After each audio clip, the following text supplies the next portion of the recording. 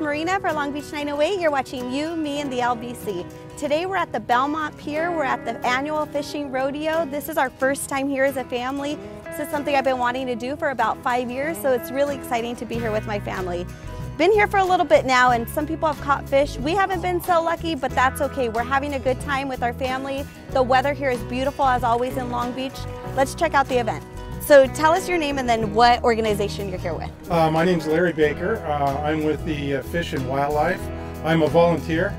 This is my second year volunteering and it's very rewarding. So what are you noticing anything about amateur families? Because this seems to me like an event for someone just wanting to try out fishing. Yeah, see, this this is good because piers, they don't you don't have to have a fishing license for a pier.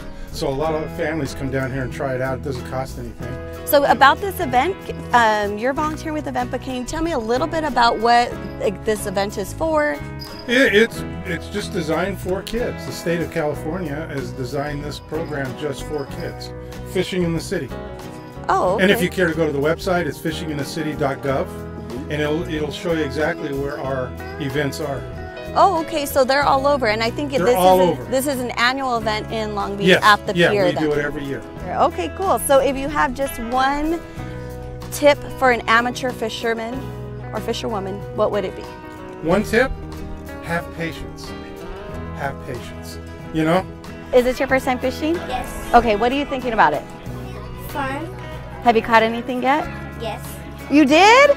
Go, girl! It's kind of a fun thing to do with your family, right? Yeah. Johan, here, face the camera. Johan, what did you catch? A fish. What? How big was it? Mm, this big. Oh, dang! What are you gonna do with it? Mm, I throw it back in. Oh, that's so sweet. Why'd you do that? Mm, so it could get bigger and bigger. And then you're gonna come back and get it? And then what were you gonna do with it when you catch it when it's bigger? Go over there and get a trophy. That's right.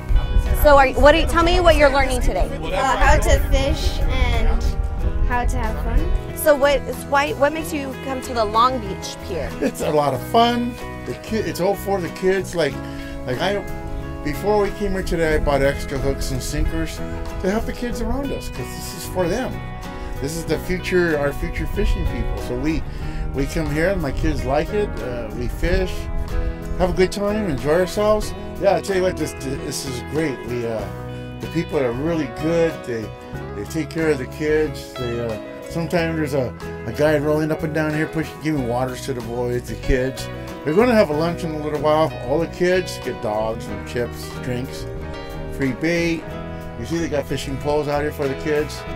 It's it's a good thing. It's a good thing, and we've been coming for years.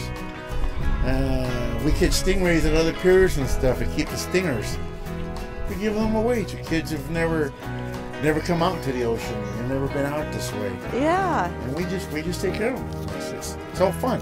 Cool.